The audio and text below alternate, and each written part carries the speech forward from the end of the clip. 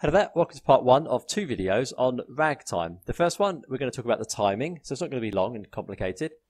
And part two is going to be giving you something to actually play. I'm also going to give you a technical exercise uh, in this video as well, so I think you're going to find it quite useful. as always, likes, comments, subscriptions are welcome. Have a look at my video management website, Water Pianism Syllabus, Pat's Patreon, all the links and other goodies are below. Now, um, ragtime is often taught as being a straight feel. So if I take uh, the, the, melody from uh, uh, Maple Leaf Rag, it would be straight.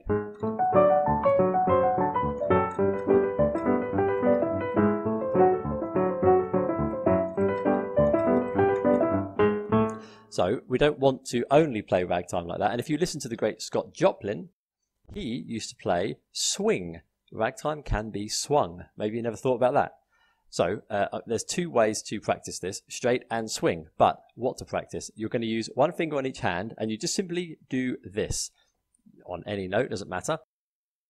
You could even use a metronome without the left hand, but I recommend using both hands. Let's just do a D. You're just going to set your tempo like this. Maybe a bit slower, like that.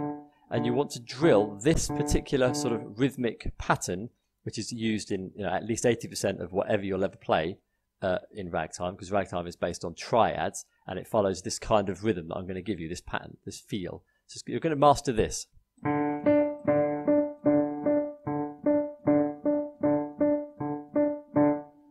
That. Maybe listen a couple of times.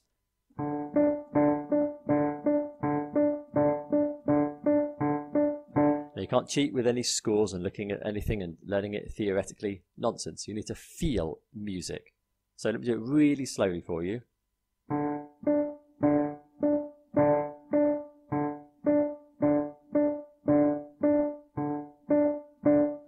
Like that. Uh, because the technique I'm going to give you is going to require you to do that. So that's kind of part one of the video. Get that down. You can do it the other way as well. But uh, the, the idea is to do this. You're going to take a octave and you're going to take a triad, major triad, and minor if you want, but we'll deal with major for now. And you're going to do that pattern with the triad in this way. So, I'll just show you the pattern first without the left hand. The third octave, third, fifth octave. So let me just do that again. So just get that part down first. I'll just put that with the left hand. It always starts on the half beat because it's, it's, it's syncopation, right? So it's it's that kind of feel. So that's the first part. And then the next part is third octave, third, fifth octave. So, second part. Uh, let me just do it from the beginning. From the beginning.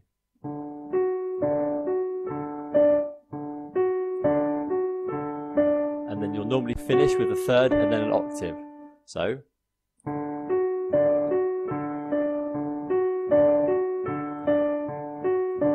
You absolutely have to master that if you are to have any chance in playing ragtime.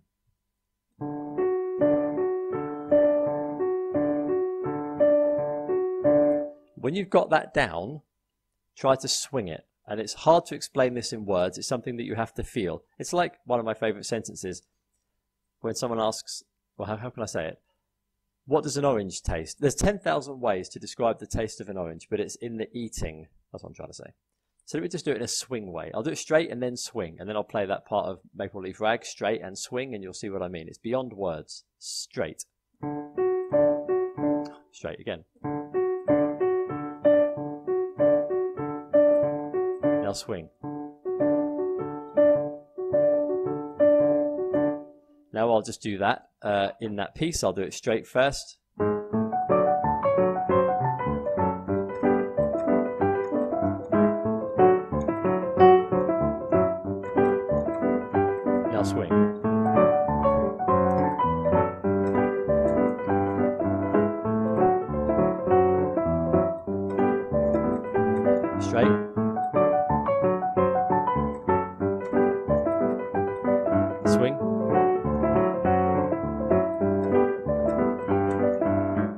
See there's a lilt, there's a kind of little bounce to it, and it's very hard to put into words. You just have to feel it. So why not just get used to feeling it by doing this?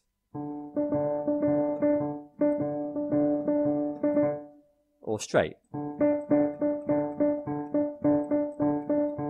Swing. There's just something in it that you can't put into words.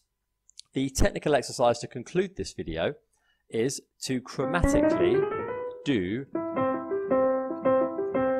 that technical exercise. If you want to put a left hand in, you can, but that's kind of more about part two. But if you want to do the left hand, you can just do like this.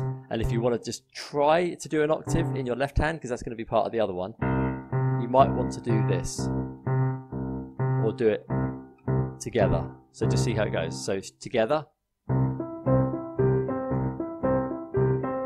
And then up a semitone to D flat. Go around the cycle of fourths. B flat.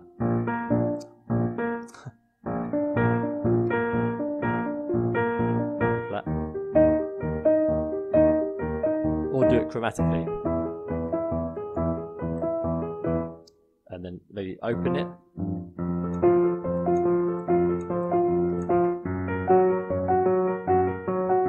It's your choice. But that's the exercise, your homework for this video. Um, because part two, you're going to actually focus a bit more actually on the left hand. And I'm going to teach you how to do the stride and the variations of the stride. And you're just going to put that together with the, uh, the right hand pattern as well. You're going to be quite impressed by the end of video two, what you're able to do. Um, so that's it. That's your homework. Try that from C up to B, doing it however you want. Uh, like I say, you could just do it with one finger. I forgot to do the octave. Uh, or the octave, or you can open it, it's your choice. Mess around, try it straight, try it swing. Might take a couple of days to get it into your body, into your bones, but it will come eventually. So there you go. Uh, so as always, likes, comments, subscriptions always welcome. Have a look at uh, my Water Pianism Syllabus video management website and perhaps Patreon, and I'll see you in part two of this or another video. All the best, and uh, bye for now.